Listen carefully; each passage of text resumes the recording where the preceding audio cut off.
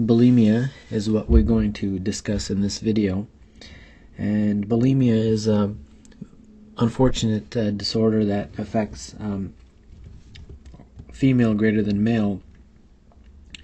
It's like a 90 to 10 distribution in terms of percentage. Although, uh, in terms of males, commonly um, you'll see this on test questions.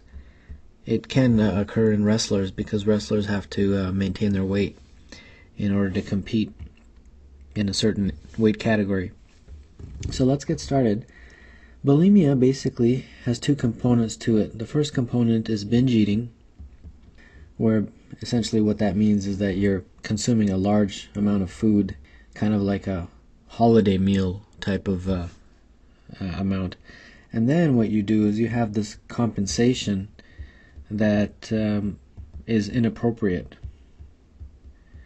And in particular, what we're talking about is purging. So you'll see this oftenly as binge purge behavior, and purging is really what it, that means is vomiting. So you're vomiting out the food, self-induced. So self-induced vomiting.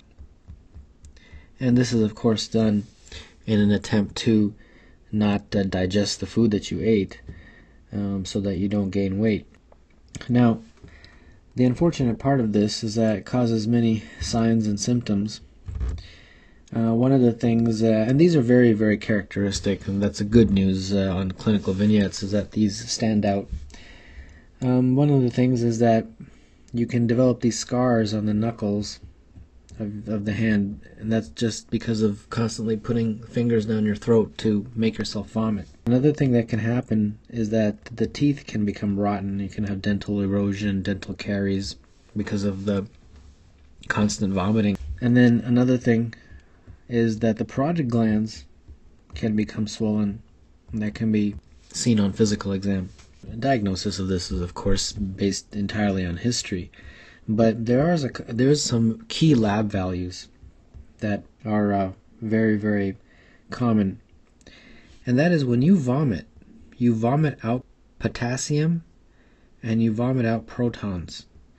So you would have a scenario in the blood that essentially is hypokalemia, and because you vomited out all these protons, you'll be in a state of alkalosis. And of course, we're talking about metabolic very key lab findings. And then the treatment of this involves therapy and the, the medication most commonly used and also on licensing exams is an SSRI. It's a depression medicine, selective serotonin reuptake inhibitor, and the name of that medication is fluoxetine. So let's take a look at some clinical vignettes. An 18 year old girl comes to the physician for a checkup before going off to college. She has no complaints. She states that she is very excited to be finally on her own. She exercises regularly, gets good grades, sexually active. Weight is normal for her height. Physical exam shows many dental caries, periodontal disease, pharyngeal abrasions, nail changes, and multiple linear lacerations on forearm are in various stages of healing.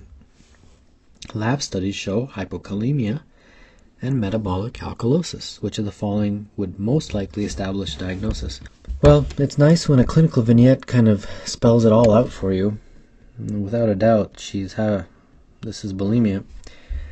Well, let's go through this. Do you ever feel guilty about drinking alcohol? Well, that not really probably the best question to ask. Do you typically restrict your diet to under 800 calories a day?